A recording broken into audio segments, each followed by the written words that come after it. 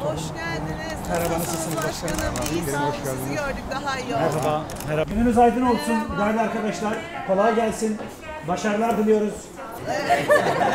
İyi, güzel. Kadınlarımız yapıyor. Duygu Asena der ya kadının adı yok diye bizimkilerin var.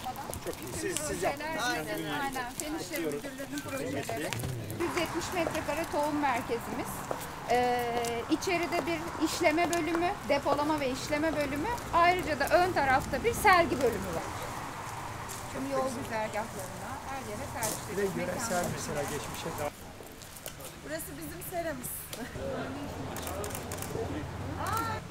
pek olmadığında burada da bir şey deniyoruz. Lokalarımıza bakar mısınız? Sofralık olmuş. Bizim için tarımda çığır açan ve aynı zamanda bize birçok tecrübesini aktararak bizim de ufkumuzu genişleten Sayın Orhan Sarıbal, Efes Tarlası, Toprak Okulu Tohum Merkezi, Üretici Pazarı ve aynı zamanda Tarım Müzemize dair fikirlerini bizimle paylaşmaya geldi. Burası aynı zamanda toprak, tarla, müze, eğitim. Belki Covid-19 salgın dönemi bütün dünyaya insanlığın temel ihtiyaçlarından birinin ne kadar önemli olduğunu anlattı.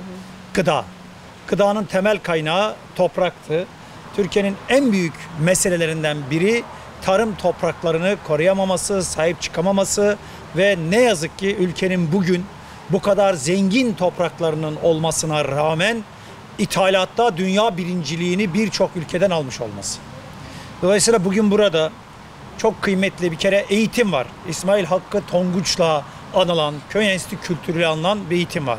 Biz her zaman şunu söylüyoruz. Eğitim yoksa bir yerde, eğer insanları eğitemiyorsanız, bilim, akıl, mantık ve elbette emek ve cesaretle buluşmuyorsa hiçbir şey üretemezsiniz. Toprağımızı koruyabilirsek, toprağımızı verimli tutabilirsek geleceğimizi de inşa edeceğiz. Dolayısıyla başkanım bu anlamda çok önemli bir adım attı. Toprağın bütün özelliklerini, bütün birikimlerini burada bilgiye açacak. Bilgiyi çiftçiye verecek. Çocuklara tarımı anlatacak, gıdayı anlatacak.